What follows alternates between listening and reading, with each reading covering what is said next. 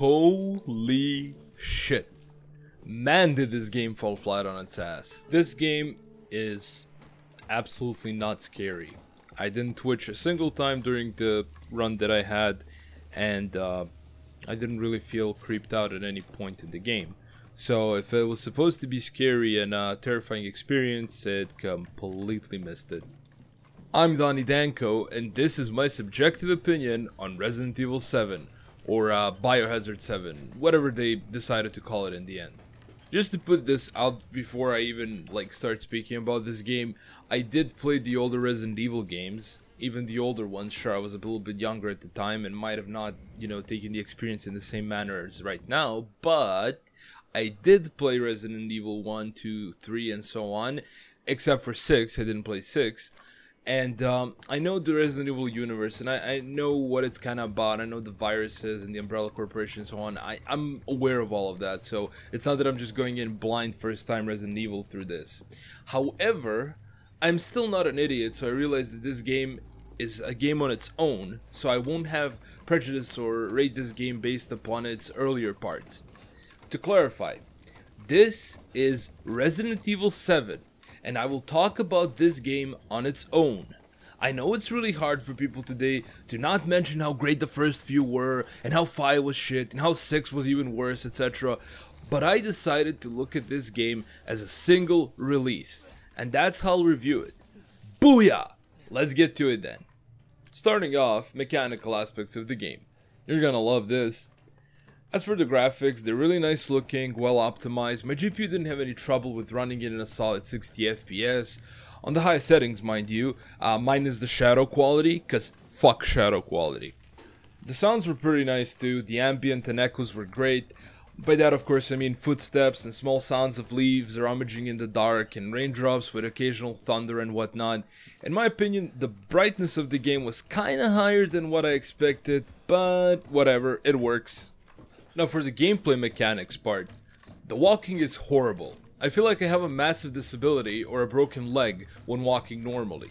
The sprinting is basically jogging, and don't even get me started on the strafing or trying to walk backwards. It feels like I'm moving while under a 300 kilogram pressure. Fuck turning that into pounds, I don't care.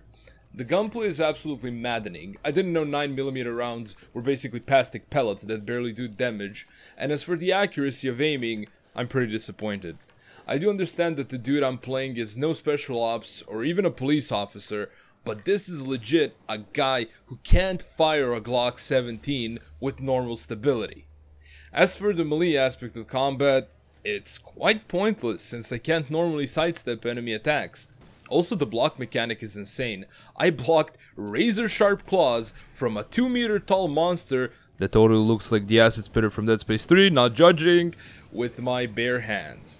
Also, the doors are sometimes kind of buggy, where they require more time to open when trying to move through. Go figure. As for the inventory system, I would say that it's horribly, horribly annoying. And the reason being is I need to manually click on the items to apply them to certain areas that they're supposed to be applied at. Like, take for instance a key. A crow key for a crow door.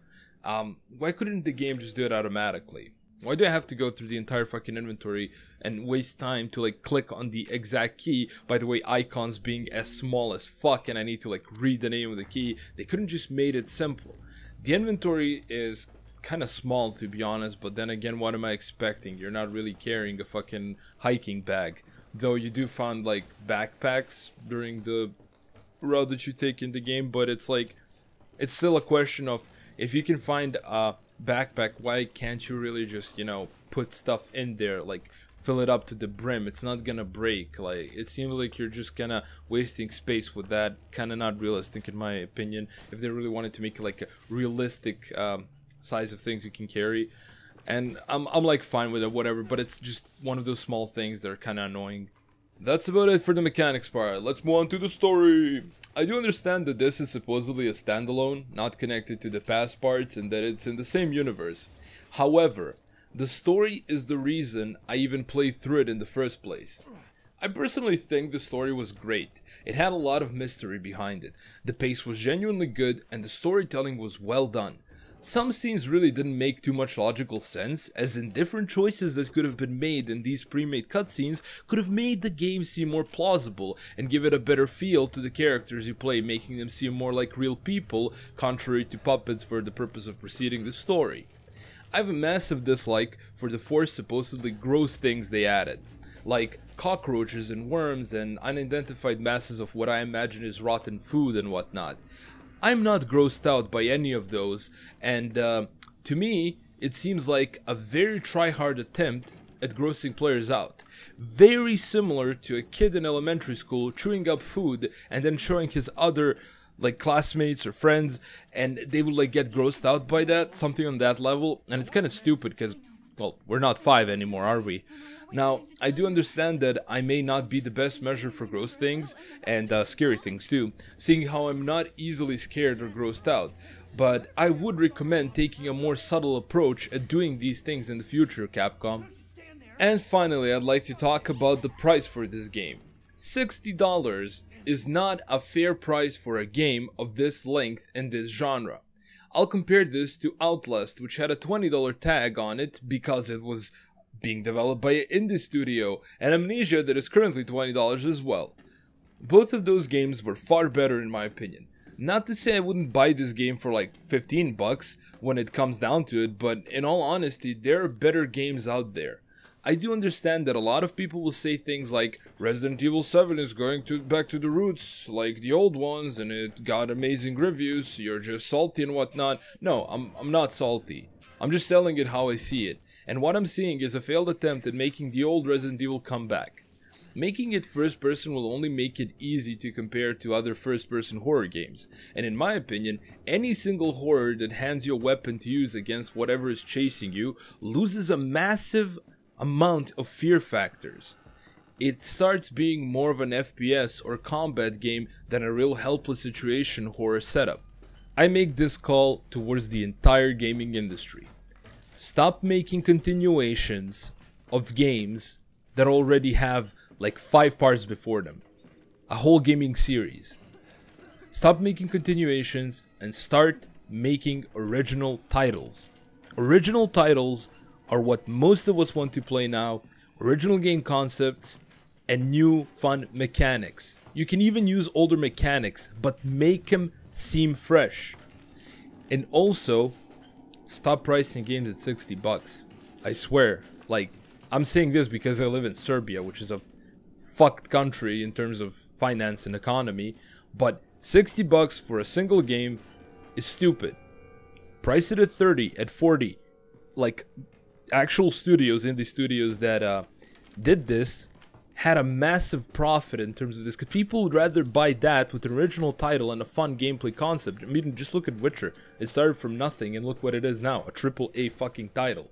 That's what I'm talking about. Stop pricing games at a high price for no reason and put down the price a little bit. Start putting out original ideas. Stop refurbishing old concepts. Thank you. Also, fuck anyone who thinks that paid game review sites justify your opinion on the game. Play it yourself and then tell us what you really think. And don't play it and then tell us what you think because you wasted 60 bucks on a game. Play it and give it an honest fucking thought. Don't take into account older parts don't take into account anything outside the current game that you're playing and give us your honest opinions on the game. Because that's the only way you can be honest towards yourself and everyone who is listening to you. Okay, that'd be all on this topic. I didn't really want to spoil too much of the story, so I kept that as general as possible. No details and such. Hope you enjoyed the video and share your thoughts down in the comment section below. Drop a like if you liked it, dislike if you didn't, and subscribe for more content. Check out the other vids if you see anything that you're interested in. Thanks for watching and until next time.